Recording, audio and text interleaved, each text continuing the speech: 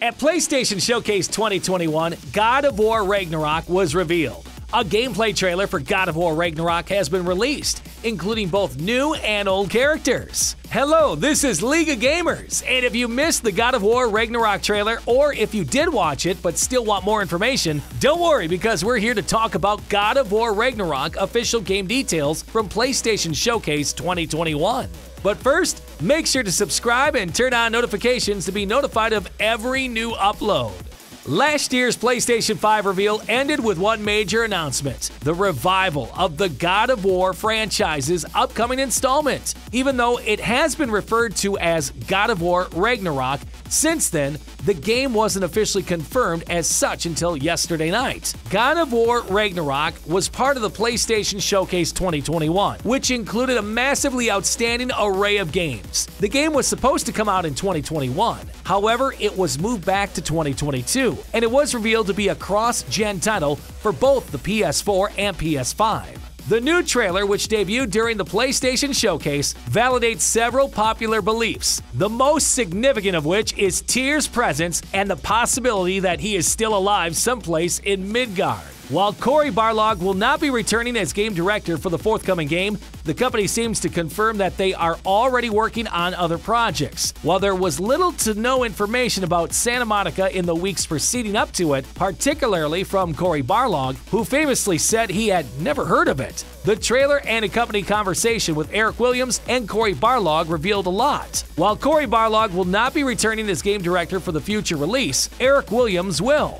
The company appears to have verified that they are actively working on other titles as well. If you watch the teaser, you'll see that Freya is particularly enraged when she attacks Kratos as he slides through the ice on his sled. This can only suggest that the sandbox will be much broader than the 2018 God of War, as Kratos and Atreus appear to require a sled to travel about. Not only that, but the game seems to include true civilization, people who aren't attempting to kill Kratos and Atreus, Loki. In contrast to the harsh, dismal landscape of the previous game in the series, the teaser briefly revealed an almost marketplace like scene. The trailer also confirmed that Thor, Ryan Hurst, and Odin, Thomas Schiff, teased in the previous game's ending will appear in the sequel. Along with them, newcomers such as Tyr, the Norse god of war, and Angrboda, one of the last living giants, have joined the group. Following the trailer, game director Eric Williams stated that this will be the final installment of God of War's Norse story, and that Ragnarok will, of course, take place in the game. Many of you may be wondering when God of War Ragnarok will be released after seeing that incredible trailer. God of War Ragnarok has yet to be given an official release date.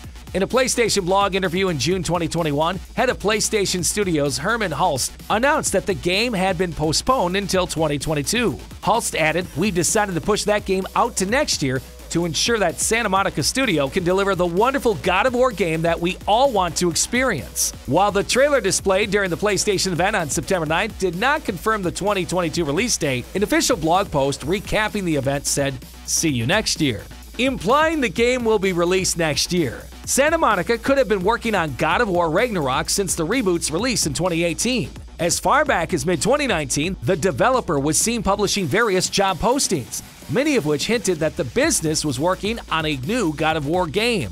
Game director Cory Barlog discussed in April 2018 Kotaku interview that the God of War writing team had an excess of plot points and story concepts that were not included in the 2018 release. He even stated that the group had enough content for five new games. He then clarified on Twitter that he was exaggerating, but he promised followers that the relaunch would be followed up just days later. In 2019, Barlog seemed to start hinting at God of War Ragnarok. Ragnarok is coming, the writer wrote in a Twitter thread. By combining the first letters of each tweet in the line, the sentence can be obtained. Barlog was concealing it right in front of our eyes. Would you like to hear about what we know so far about the upcoming plot of the God of War Ragnarok story? Hello there, mates! Before we offer our thoughts on the God of War Ragnarok story, please remember to give this video a thumbs up and share it with your friends. So, here are our story ideas for the forthcoming voyage. Kratos and Atreus arrive in Jotunheim after slaying Baldur to spread the ashes of Atreus' mother, Faye. They learn that Faye was a giant named Laufey, transforming Atreus into a half god and half giant. We also discover that he has a different name. Loki. As the father and son make their way back home, Atreus grills his father with questions regarding his true identity and his mother's inheritance. It appears that, for better or worse, watching Atreus learn more of his Loki side will be a prominent feature of the upcoming game. Baldur's death may have hinted at Kratos' next significant hurdle in God of War Ragnarok. The cataclysm catastrophe, also known as the Twilight of the Gods, is a Norse mythological prophecy that predicts the death of many gods. While the series is known for its loose interpretations of mythology, Baldur's death invariably sets off Ragnarok in most saga versions. Furthermore, a secret cutscene near the end of the game depicts Thor meeting Kratos at his home, implying that a god of war is on the horizon. Here's what we learned from the trailer and event on September 9th. Since Atreus is an adolescent, there is a time jump of a few years. Atreus' lineage is a significant story point and source of tension with his father. Freya reappears as a villain. Thor is also a villain. The game includes all nine Norse realms. In a post show interview, the designer said the game would conclude the series' Norse saga. Another thing that comes to thoughts is whether or not God of War Ragnarok is a PS5 exclusive. The series' fifth installment will be a cross generational title. Horizon Forbidden West, Gran Turismo 7, and the upcoming God of War will all be available on PS4 and PS5. Hermen Hulst confirmed this in a June 2021 interview with the PlayStation blog, where it makes sense to build a title for both PS4 and PS5 for Horizon Forbidden West, the next God of War, GT7, Hulst stated. And PS4 owners who wish to play that game can do so. If they choose to play the PS5 version, it will be available to them. Do you think God of War's Norse saga will come to an end with Ragnarok? Let us know what you think in the comments section below.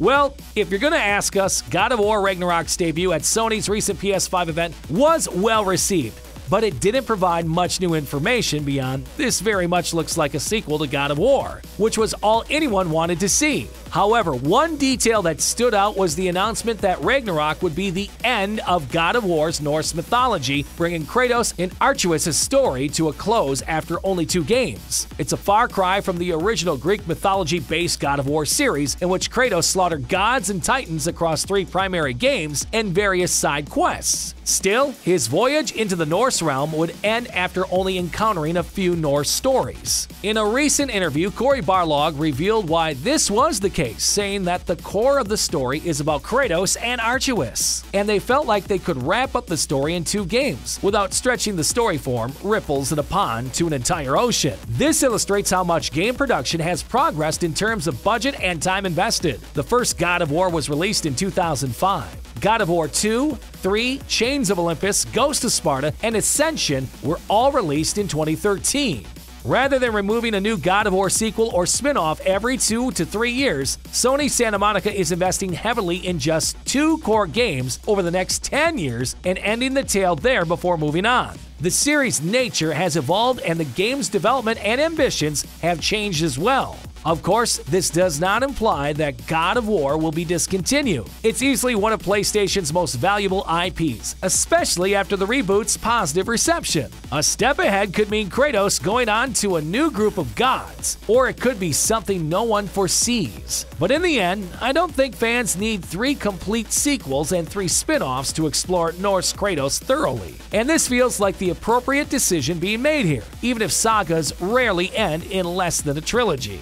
That concludes today's video. We hope it has helped you better understand and anticipate the release of God of War Ragnarok. If you're looking for more gaming content, check out our previous uploads and subscribe and switch on notifications to get notified of new uploads. League of Gamers here, and we'll see you in the following video.